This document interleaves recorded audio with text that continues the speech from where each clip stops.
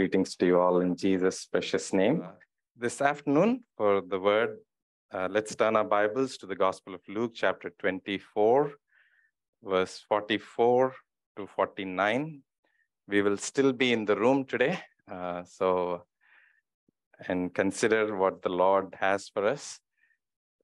Gospel of Luke, chapter 24, verses 49. If you are new, uh, we are doing a sermon series from the Gospel of Luke. We are com- coming to the last few verses of this wondrous gospel, which is themed about the Son of Man has come to seek and save that which was lost.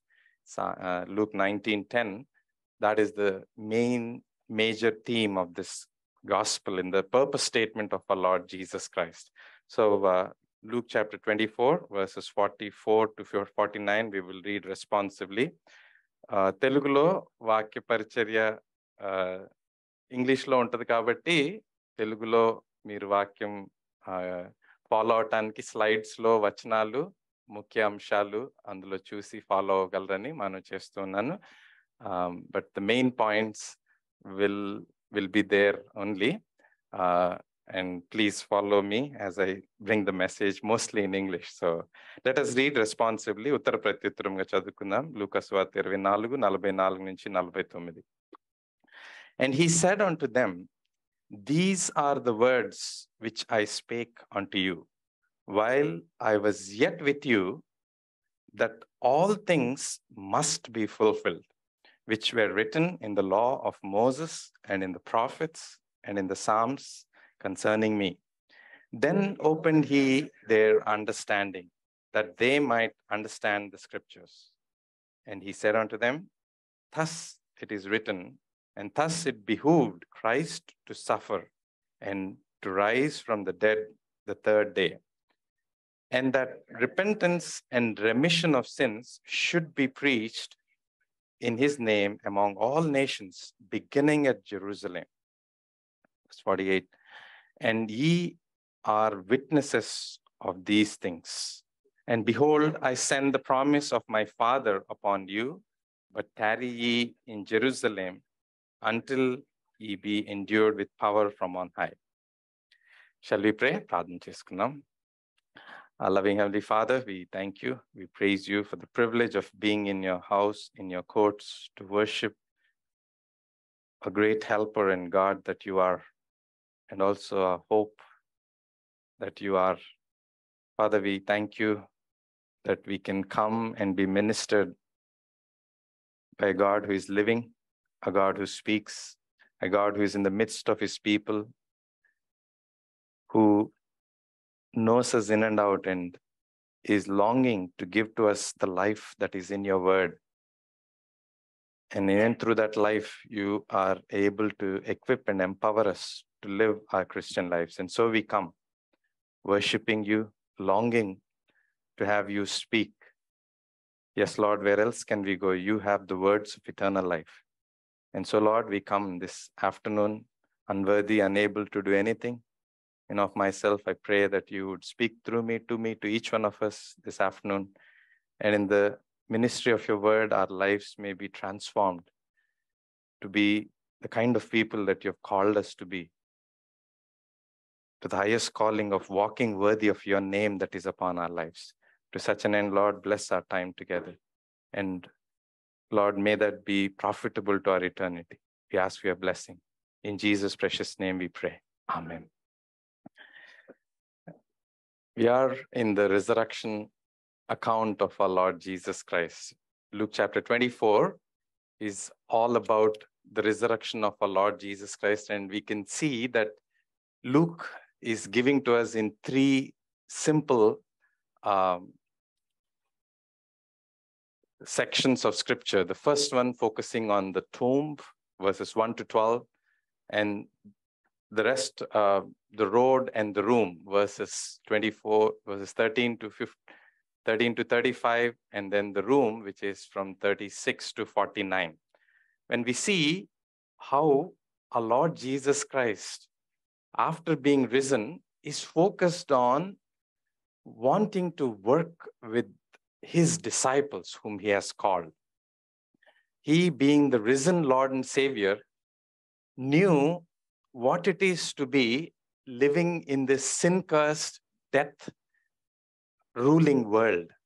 And having overturned death, he not only wants to now come to speak peace, as we have looked at last week, in this Lord of peace that he is, we come to see that he comes to speak peace. This is the first words that he says as the disciples that have gathered together in a place, as he enters this room and he pronounces peace.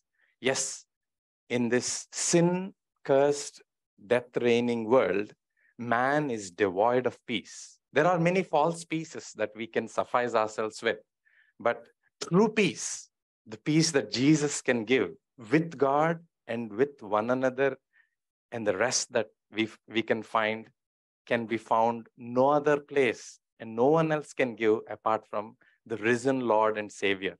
And so we've considered how he pronounces that peace, how he provides that peace, and actually makes us to be those who will be preachers of the peace of God.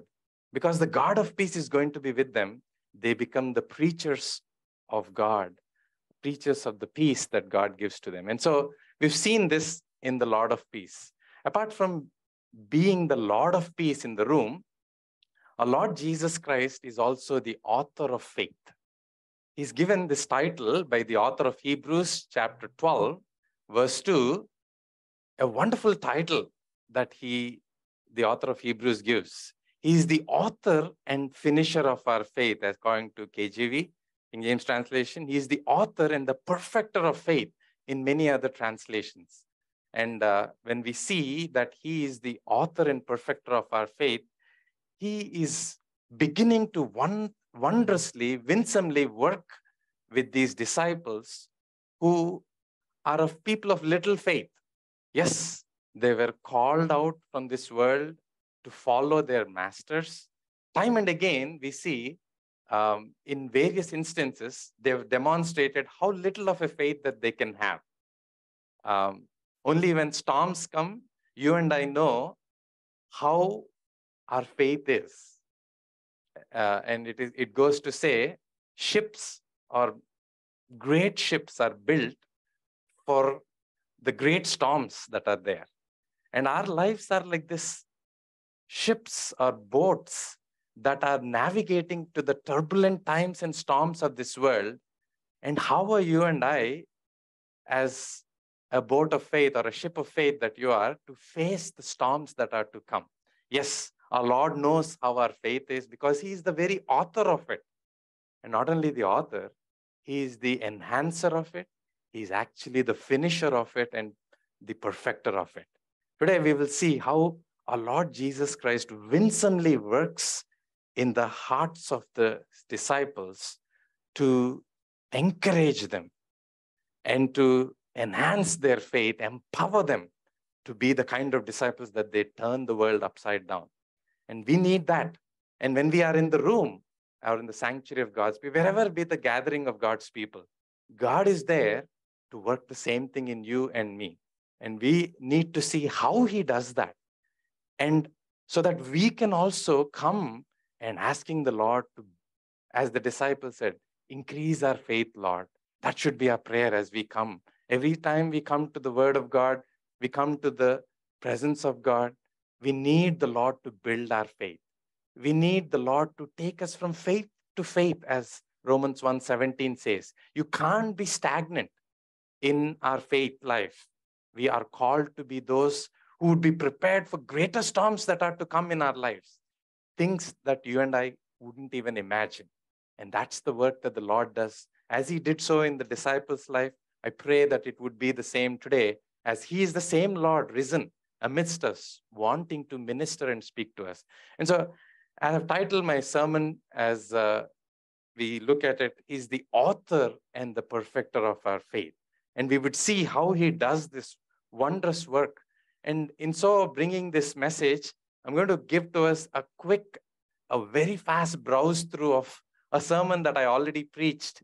If you were part of that in What We Teach series, I have preached a sermon. You can go back and look at it faith in through faith where fruit abounds some of those will be repeated here but they're worth, they're essential that we take and look at what biblical faith is as opposed to what people uh, might think faith is or what we might have been um, learning as in our own backgrounds of what faith could be. So bear with me as I refresh ourselves with those slides. So the first thing that he does after he proves him to proves himself to be the Lord of peace, starting from verse 44 and verse 46, we see, and he said unto them, These are the words which I spake unto you while I was yet with you, that all things must be fulfilled, which were written in the law of Moses and in the prophets and in the Psalms concerning me. Not only he says, he points them to the scripture. He says, the law of Moses, prophets, Psalms, that's all the Old Testament that was the scriptures for them. And the disciples had the scripture with them. These Jewish, uh, yes, they were fishermen, but every Jewish boy or every Jewish person is brought up with a lot of scripture. They knew the scripture a lot. They were to by heart the scripture, they were to treasure the scripture, and they were to recite the scripture. They were to have the scripture all over their houses, so much so that they were scripture saturated. And so Jesus was pointing them back to the scripture that they had. And not only he's pointing them, but he's explaining them. Come with me to verse 46, and he says, And he said unto them, Thus it was written, and thus it behooved Christ to suffer and to rise from the dead the third day. The first thing that we need to note about faith is that faith is founded on the scripture.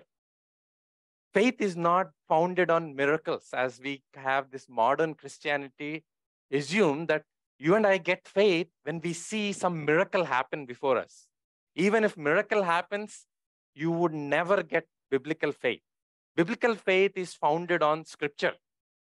And that I can and we can clearly see as we see the very definition of faith. Come with me to the Hebrew, uh, the letter that uh, the author of Hebrews wrote into Hebrews chapter 11, verse 1.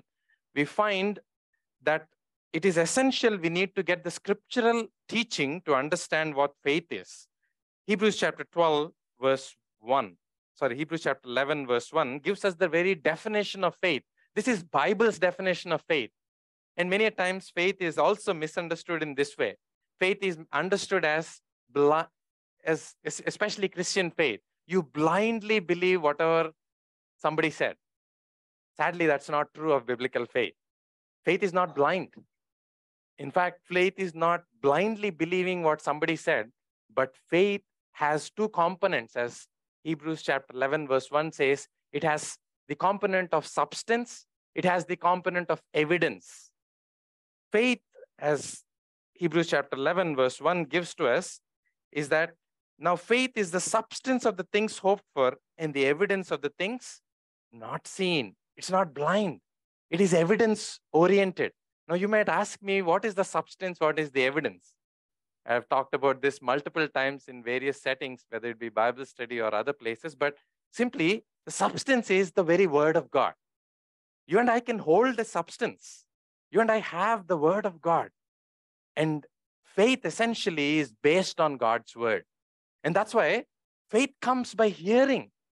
Hearing what? Romans chapter 10, verse 17 says, faith comes by hearing and hearing the word of God. When you and I hear God's word, that is when faith comes into our hearts and lives. It's not by seeing. Faith is by hearing and hearing the very word of God. And so the substance for faith to be received is the very word of God.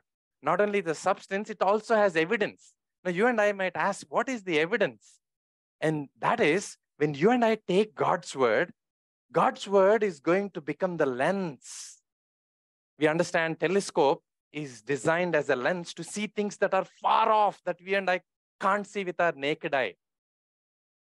Somebody says there is Jupiter, somebody says there is Neptune, there is Pluto. Have you and I seen it? No. But can you and I see it? Yes. When? When we use the telescope that all these so called astronomers use and try to see and gaze and see that there is a planet like that. So is it with the Bible when we come to see through the lens of the scripture, you and I see things that you and I would not see with our naked eye. See things which were in the past.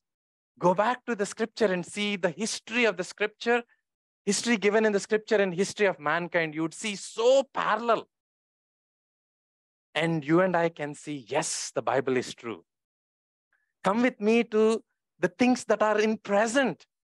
The scripture shows things that are deep inside your heart and mind. The Bible says the heart is deceitful above all and, and desperately wicked. No one in this world gives that description apart from the Bible, which gives the true reality of the deep things of our heart. Not only the things of our heart, things that are seen all around this world. Why is the world the way the way it is? How evil it is, how world is rampant, plagued with sin, disease, destruction, and death. Because the Bible can give you the answer. As you see through the scriptural lens, you and I see the answers of how the Bible shows the way the world has become in the fall that has come.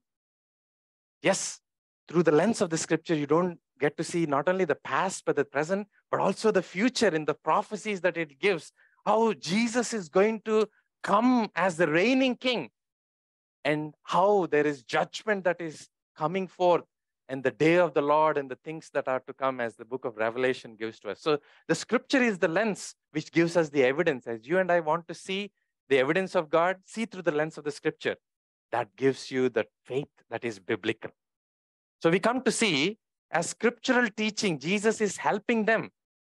Have you not seen the law of Moses? Have you not seen what the prophets have written? Have you not seen what the Psalms have said about me? That is what have, be, have come to fulfill. It behooved or it was necessary for Christ to suffer first and to rise again before he is the reigning king. And you know what happens when we come to the scripture? There are things that are believable and we love to believe them. Or the promises that say, God is going to hear all your prayers. He's going to, He's nigh unto you. He's there beside you, God with us. We love those promises and we like to believe them. And we like, when, when the Bible says God is the one who creates the storms in your life, God is the one who will allow you to go through affliction. Things that are difficult to believe, you and I would say, okay, that's for a later time and park it somewhere. Because it's not easy to believe. So we choose, we are selectively picking what we need to believe. And that's not biblical faith. Biblical faith is to come to the scripture as it is and let God give deep convictions of what the word of God says to be the conviction of our heart. That no matter what, you and I can say, just like how Jesus says, heaven and earth will pass away. Matthew 24, verse 35, Jesus says, heaven and earth will pass away, but not my word. And that is what biblical faith is founded on God's word. And so faith is the root. And so come with me to the Christian definition of faith. How is it? This is from What We Teach series. You can go back there. I'll be very quick in brushing us up. What makes someone a Christian? Any human being in this world, there are two paths that are there to come to God in, in general, in general. And the first one that people we all are aware of in many faith systems pursue of is the good works path. You and I want to do something and come, reach attain that state where we can be in connection or relationship with God. And all the faith systems, apart from the biblical faith, is founded on this works based salvation. And so, biblical faith is not based on good works. Bible in Ephesians chapter 2, verse 8, we know it is not of works. Salvation, you and I are saved by grace through faith, and it's not of works, lest any man should boast. A Christian salvation and faith is based not on works, but on by the grace of God and through the faith. And so when we look at what biblical faith is, we find in uh, come with me to John chapter 6. John chapter 6. There's a very good, interesting conversation that happens between our Lord and the and the Jewish people that were there. John chapter 6, verse 28. Notice the question that is asked by these Jewish people. The Jewish people ask this question and say, John chapter 6, verse 28. యోహన్ స్వార్త ఆరు ఇరవై ఎనిమిదిలో ఈ యూదా మత ప్రవిష్టులు పరిసేయులు శాస్త్రులు వీరు అడుగుతున్న ప్రశ్నను గమనించండి what is the question go to say then said they unto them what shall we do that we might work the works of God take note in the assumption that they can do some work and let God let God approve that so that they can become godly or they can become people who have received salvation. That's the presumption.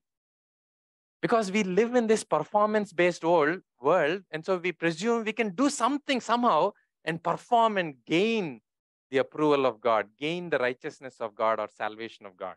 But the truth is, Jesus then answers in verse 29. Jesus answered and said unto them, This is the work of God that ye might believe on him whom he has sent. There's no work that you need to do. If you are if you are seeking after works, that is not the biblical faith or biblical way of salvation.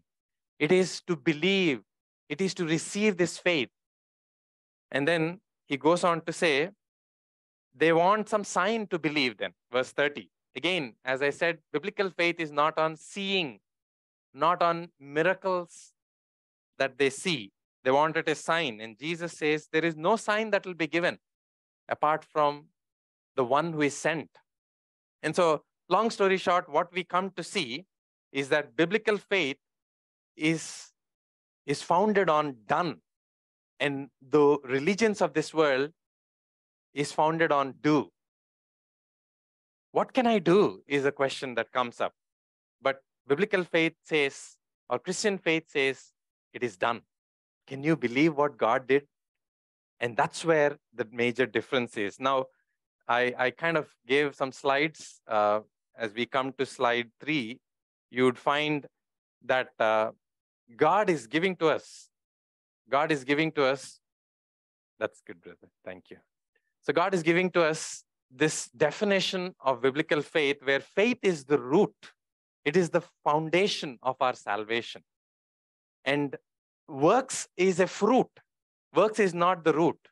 In all the world religions that are there, works are the root, and they think they can gain salvation. But it is this thing called faith which is the root. And so we see when we come to imagine works to be the root, it comes as, as the Roman Catholicism gives to us the plus religion.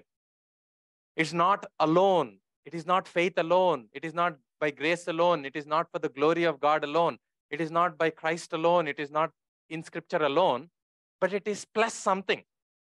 Some work has to be done that they will be satisfied that I earned my salvation. Isn't that true of all the faith systems that are there? But sadly, biblical faith is alone. In faith alone, through faith, these five solas of reformation that you and I have looked at in what we teach series, through faith alone, sola fide, reformation, uh, where we have recovered the gospel.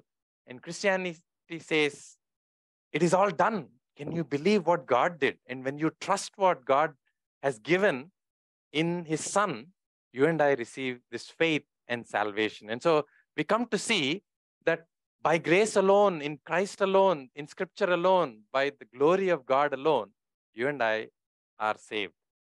And Christian faith, biblical faith, is, is founded on faith being the root. And so we saw this definition of faith. Hebrews chapter 11, verse 1, we saw the definition of faith. Faith's definition and faith's reception. How is it that you and I receive that faith? Romans chapter 10, verse 17, we saw that it is hearing of God's word. Not only that, we also saw that faith brings justification. Turn with me to Romans 3, verse 22. It is through faith that you and I are justified, not of works. Romans three verse twenty two let me read that రోమిల్కి రాబడిన పత్రిక మూడు ఇరవై రెండులో విశ్వాసం ద్వారా మనము నీతిమంతులుగా తీర్చిదిద్దబడుతున్నాము అని మన క్రియల వలన కాదు అని వాక్యపు సంబంధించిన విశ్వాసం ద్వారా రక్షణ గురించిన మాట మనకి కనపడుతుంది. Verse twenty two it says even the righteousness of God which is by faith of Jesus Christ unto all and upon all them that believe for there is no difference no matter what your background is god has made provision for you and i to be made right righteousness is being made right with god you can never be right in your own efforts only through the work that was done in Jesus Christ that you can be made right. Righteousness of God can be conferred to you. And that is biblical faith. It brings us to receive justification and it makes us to be in possession of this biblical faith and it manifests itself in the fruit of the Spirit of God and that we would walk by faith and not by sight. Turn with me to 2 Corinthians chapter 5 verse 7. రెండో కొరింది రెండో అధ్యాయం ఐదో అధ్యాయం ఏడో వచనంలో we walk not by sight but by faith we begin to walk according to the word of God faith as, as a root, it's going to bring in us the fruit of, of so many aspects that, again, if I go into the talking about the five flavors of five kinds of fruit, I'll just list to us the five kinds of fruits that we receive. And that is, we, we come to receive the fruit of repentance. That's the first fruit that faith is going to produce. And my humble uh, prayer is that none of us in this room would have some faith where there was no repentance. That's not biblical faith. And that it would first lead you to see that there is a desperate need for you and I to repent of our sin.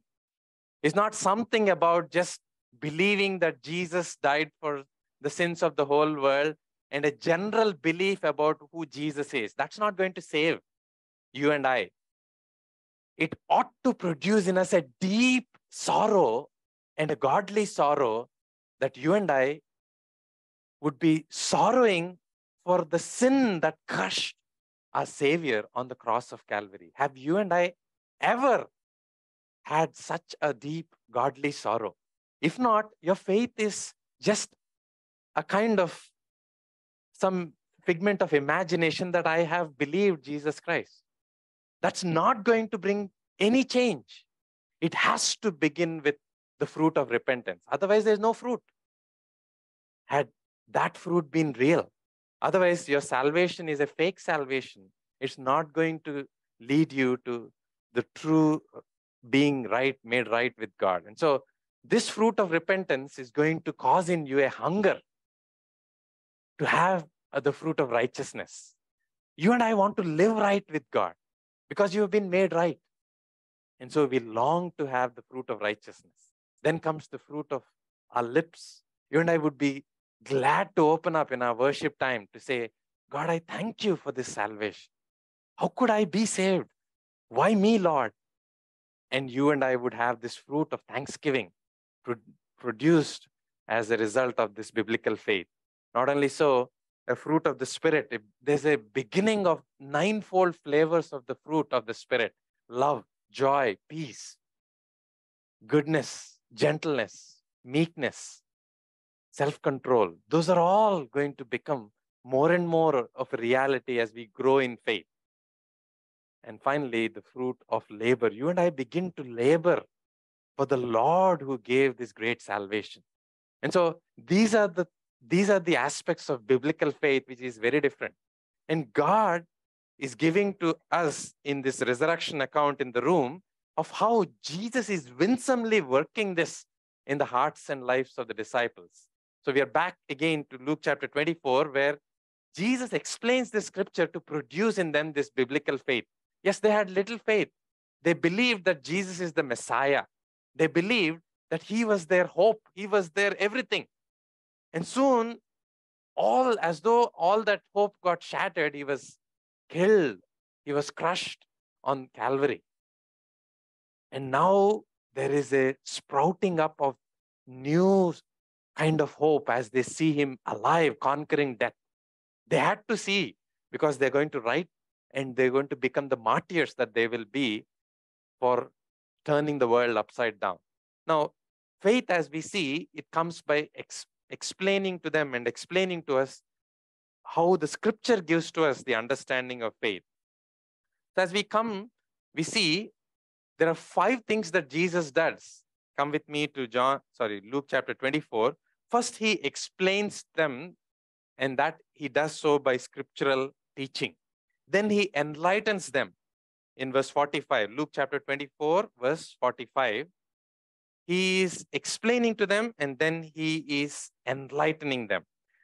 Verse 45 says, Then opened he their understanding that they might understand the scriptures.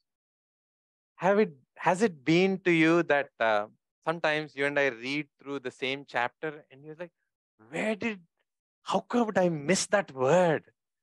How did I not read that before?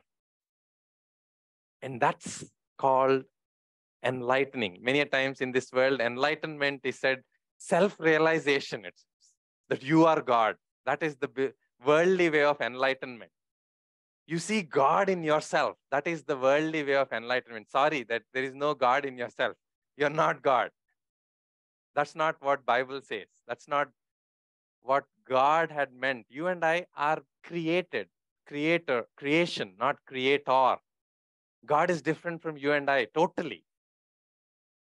True enlightenment is when God casts light on the scripture and we see with a fresh eyes and see, how did I miss that? Because there is a fresh enlightenment.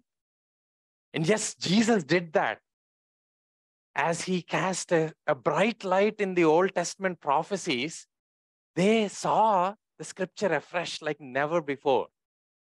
And the Spirit of God does that to us, to us also these days. Is the scripture's enlightenment that makes us to trust the scripture more. Come with me as how the scripture enlightenment was done. He opened their understanding that they might understand scripture. You and I might wonder how he did that. I just imagine, I was prayerfully considering what might have he opened to them. At least he might have opened to them Psalm 22. Come with me to Psalm 22, where we see how he points them, this must happen for Messiah. And they might have read Psalm 22 n number of times before, but have never seen all this as you and I would see, Psalm 22, verse 1, what was Jesus saying on the cross of Calvary?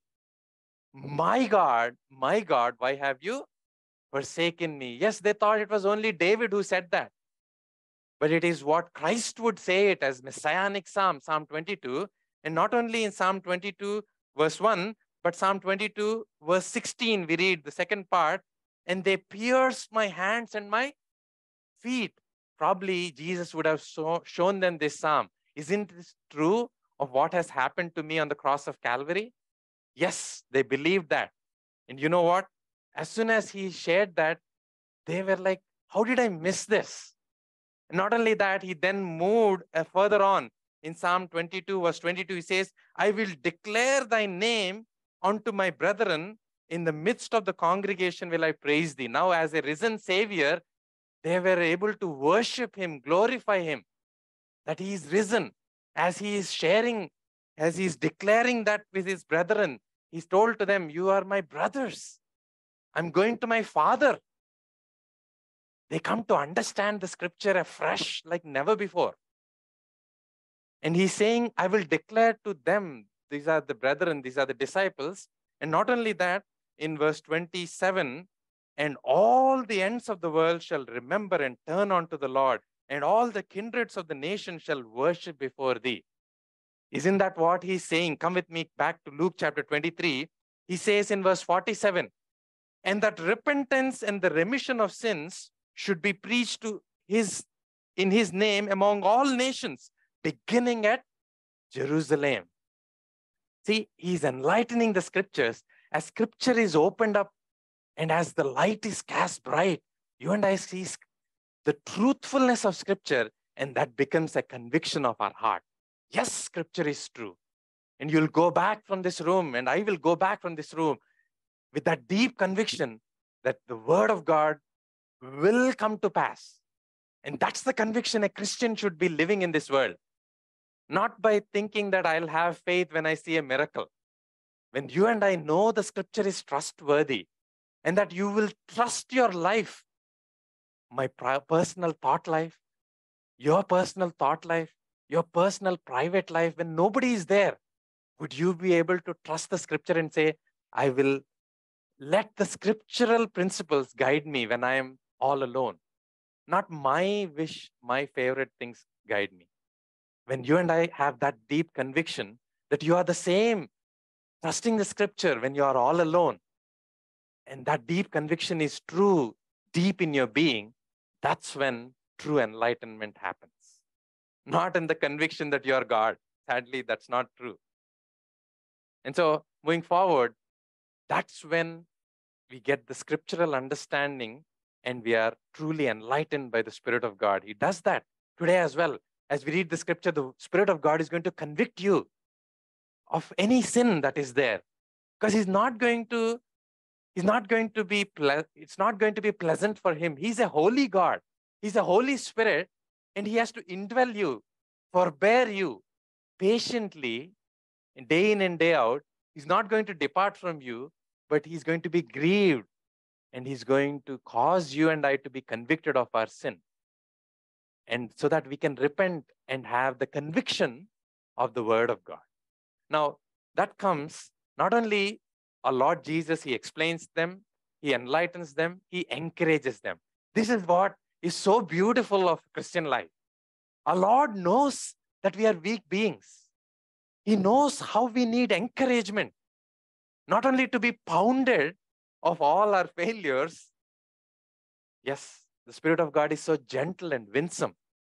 And not only that, He encourages us. How does He encourage us? Come with me to verse 47. He says, And that repentance and remission of sins should be preached in His name among all nations, beginning at Jerusalem. He encourages them by saying that the scripture should be fulfilled. What was the scripture I, told, I showed to us in Psalm 22, verse 22? That nations should be knowing of all the salvation plan that God has in store through Jesus Christ. And as that scripture fulfillment is being shown to them, they are encouraged. Yes, it is a fulfillment of the scripture.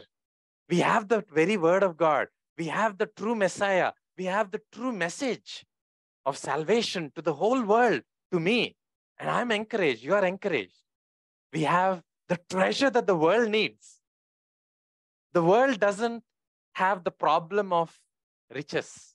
Many a times, the many world problem solvers, they say the problem of the world is poverty.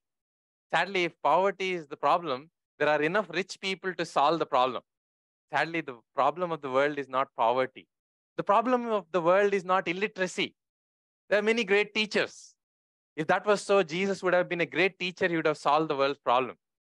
The, sol- the problem of the world, to the Bible's definition, is depravity. Depravity, where man desperately needs to be rescued from sin, Satan, self, and the system of this world so that they can have salvation. And he solved it by defeating sin, Satan, self, system of this world, and conquering that and giving that message of triumph and victory to you and to me.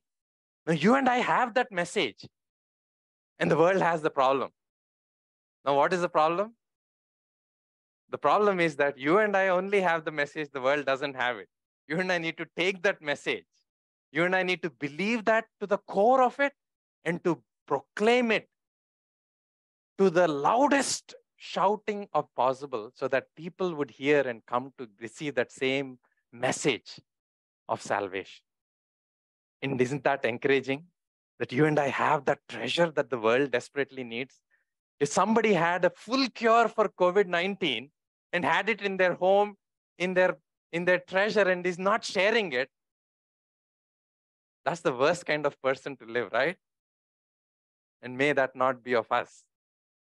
At least if you and I are encouraged that you and I have the world's solution and that we can go out and live and share, that's a great encouragement. Now, not only that, he is revealing that plan. There's a plan that Jesus has to proclaim this message of repentance, salvation to all our friends, our neighbors, our relatives, everyone. And he encourages them by telling that plan. You and I are part of that plan in whatever way possible. Yes, I'm, and we'll come to it. I know sometimes the moment we talk about evangelism or plan, oh, I'm very fearful, I'm terrified. Those are the things that come to us. Oh, what will they think? They'll think I'm a I'm a, I'm someone who has become a preacher now. Oh, this man, this girl, this woman has become a preacher now. He, she, she's preaching me. Whatever they might think, and whatever you might think about yourself and mine, there is encouragement. I'm going to tell you because God is not someone, or Jesus is not someone who calls the equipped. He's not calling someone who are already talented to do it. He's not calling orators. He's not calling those who are gifted speakers to do this. He's calling ordinary people and he is going to equip them. He is going to empower them to do that. And that's encouragement. You and I don't need to think, oh, I'm not qualified, I'm not equipped, I'm not able. No. If only you and I are willing, then there is a great empowerment, equipping that comes. Come with me to the next uh, portion. Apart from, as an author of faith, in verse 48, he's beginning to employ them. Many times in this world, we, we're filled with this recession fears in this world. People are scared will they'll lose their jobs. And uh, in the midst of all that, the employers are like, even if they have to take you into a new job, they're going to train you completely, distill you, thoroughly filter you, and say, until you pass through six levels of interviews, you cannot get this job. That's how this world is. But the but the only prerequisite for you and I to be employed by Jesus Christ is a willing heart. A willing heart and availability, not ability. The moment you and I say that I'm here, Lord, I'm here, I, I'm available to you. Oh, come on in. You are employed. That's what the disciples had to do. Are you and I going to do that today? And say, I'm here, Lord. Will you take me? Even me, Lord, I'm not so great a speaker. I don't know how to share the gospel. I don't even know the whole Bible. I don't know how I'll answer somebody asks a question about Christian faith. I might be totally blanked. And I'll probably make you look so horrible before them. No, you don't have to be worried about what people will think about Christ or about you. You just need to say, I'm willing, Lord. And the moment you and I are saying, I'm willing, Lord, what hmm. Jesus did is in verse 47, he says, And ye are my witnesses for these. These are ordinary fishermen. They had no biblical training, no seminary, not even a training how to preach, how to be a leader, no leadership workshops, nothing. There they are. They just have to say, Yes, here we are, Lord. Here am I. Leaving all the fishing nets. Peter, John, James, they come follow. Trusting all their hope in. And that's encouragement. Not only encouragement, he employs them. Ye are my witnesses. 12 were enough to turn the world upside down. 2000 years has passed by. The gospel still thrives. It thrives on the power that they have received.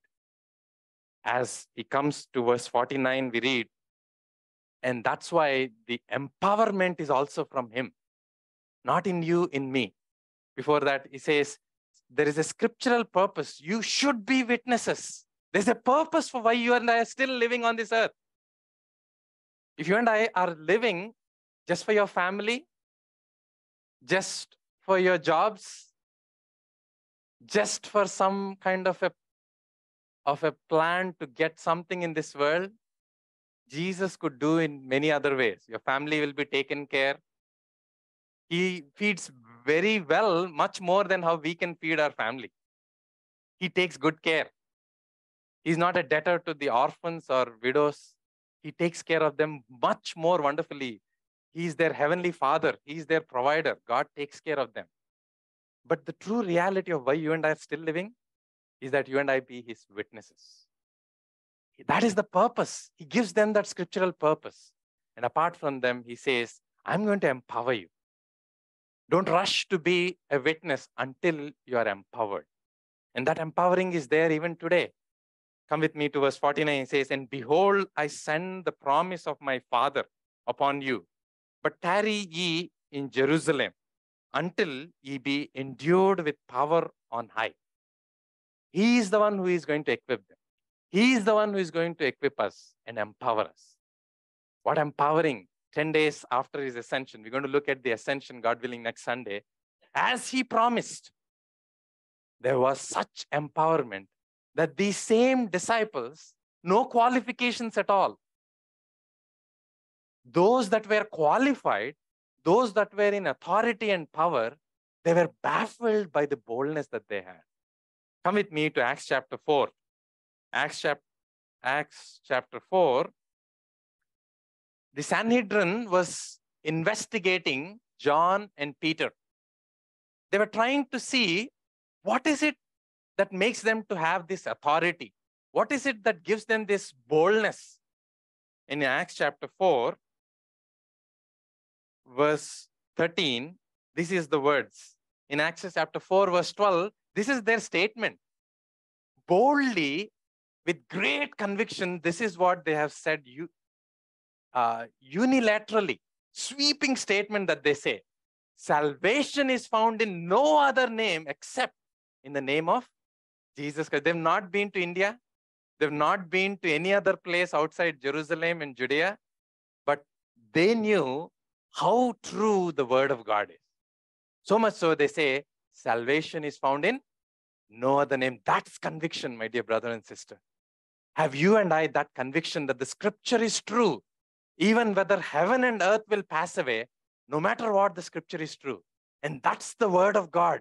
That is foundation for your and my faith. If that is true, then you and I would say and declare like these unqualified fishermen. And the only qualification that they have is what, what we see in verse 13. That is what the, the authorities and Sanhedrin have realized. Now, in verse 13, we read Now, when they saw the boldness of Peter and John and perceived that they were unlearned and ignorant men, they marveled. You know, God would want to marvel others. Are you ready? Are you and I say are going to say yes? Are you saying, I'm available, Lord, to use me to marvel others, to get glory to your name and not me? These are ignorant fishermen. There are these are unlearned fishermen. And they marvel. What did they took knowledge of? They took knowledge of them that they had been with Jesus. Be with him he's going to empower you. The very time where you come in prayer, solitary, as a family, as a church, there is empowerment. The time that you spend with him, the Spirit of God is going to empower you. He's going to fill you with the Word of God so that when you open the mouth, it's the Word of God that comes with deep conviction. Today, the Christendom desperately need Christians who have the Word of God as conviction. Word of God is there with you in our hand. Word of God is there with us in our mind as we memorize. But is it there deep in our heart as deep conviction so that no matter who is there, whether it be the PM or the president or anyone, when the conviction is deep, you don't have to care who is standing on the other side. You would stand boldly and say, This is true. That's what Martin Luther had done. He said, Unless my conscience proves me guilty, or unless you can prove through the scripture, here I stand. He stood before great and great authority of the Roman Catholic Church. But he said, Here I stand, God help me. That's what your prayer and my prayer would be with humbleness, but with boldness. you and I would stand before people, our friends, and anyone, whomever you and I are to stand before and present the gospel. There's Gospel Fest coming. And the simplest thing you can and I can do is those that you and I have been praying for, neighbors, friends, just invite them to allow them to be exposed to the gospel. Gospel has the power, not you and me. Gospel has the power to save. That's the solution for the world. And we have it. And the author of our faith has given it to us. Not only that we believe, not only we see that work in our lives, but you know, he perfects our faith. He's not only the author of our faith, but he's the finisher or perfecter of our faith. You know, when you and I would have a perfecting of faith or enhancing of faith, when you and I stand for God's word, when you and I come to the other side to represent, be the witnesses for God and say, This is God's word, you and I are more strengthened in faith than anyone else. And so that's the portion that you and I are used by God to have God's word work in others. When that happens, when you see that, your faith is taken to a next level. God's word working in you is going to enhance your faith. God's word working in others as He uses even you, unqualified. But the mere qualification is God called you. Unequipped, but because God equipped you. Not powerful, but because God has empowered you. God uses to see God's word work in others. That's going to take you from faith to faith. So much so that Jesus becomes the author and the perfecter of our faith. He became so the, the day when he rose again to the very disciples, as he stood be- between them, in the midst of them, working in their life winsomely with the word of God and building in them a biblical faith that they were able to be used to turn the world upside down. And today, too, he's here. Every Sunday, too, he's there to strengthen us, to let the roots of our faith grow deep in God's word. So much so, the fruit of the Spirit of God flavors out of us. So much so that the empowering of the Spirit of God is going to make us to be used as mighty vessels for His glory. And so, to such an end, may He be the author and the finisher of your faith and my faith as well. Would you let that be so? Would you and I let that be so? Let's ask the Lord for His blessing upon this word, shall we?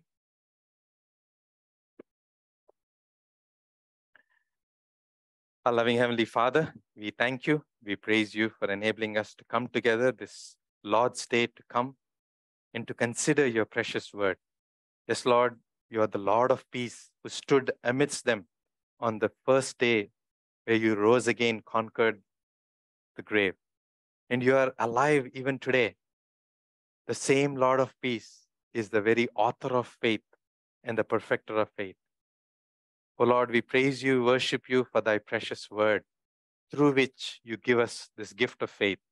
Not only you are the author of our faith, you're the one who enhances us, our faith by enabling us to see thy word come alive, to be made real for ourselves and for those that are around us, so that your word would become deep convictions to all of our hearts, that we would be emboldened by that conviction to stand for your word.